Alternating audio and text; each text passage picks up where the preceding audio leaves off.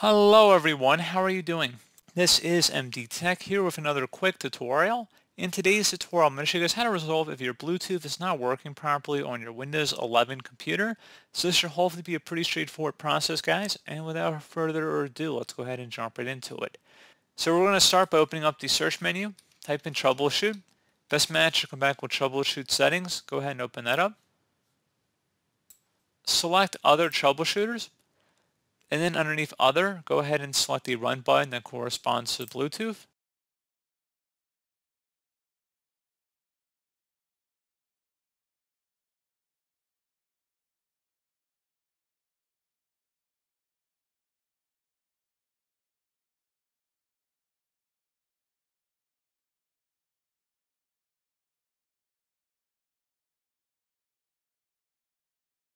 Okay, so we see that an issue has been resolved.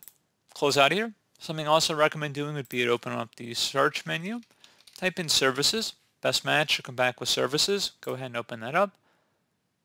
And you want to make sure the Bluetooth service is turned on. So you want to make sure all of them are turned on here. So click on it or double click on it, set serve type to automatic, and you want to make sure they're all running here. And if they're not, you want to start the service and then select apply, okay? And do that for all of the services here that have Bluetooth in the name of them. And apply.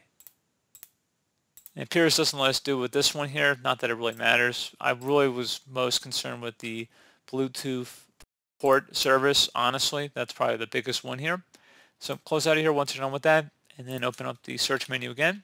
Type in device manager. Best result should come back with device manager. So go ahead and open that up you want to double click on the Bluetooth section and then right click on each of the Bluetooth devices and select update driver. Select browse my computer for drivers and then select let me pick from a list of available drivers on my computer.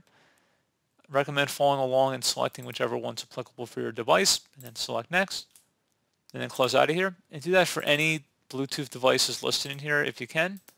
Just go ahead and update all of them.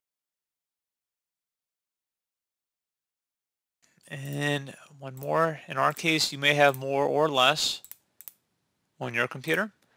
So once you're done with that, close out of here and restart your device.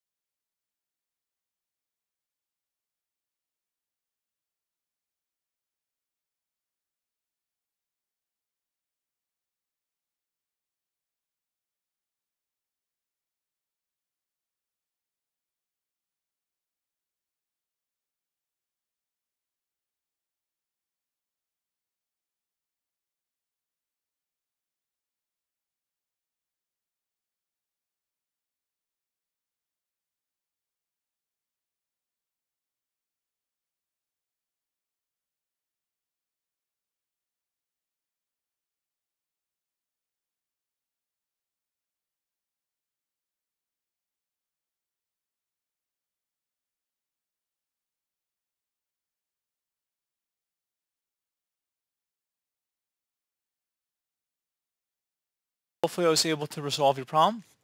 And as always, thank you for watching this brief tutorial. Do I was able to help you out. And I do look forward to catching you all in the next tutorial. Goodbye.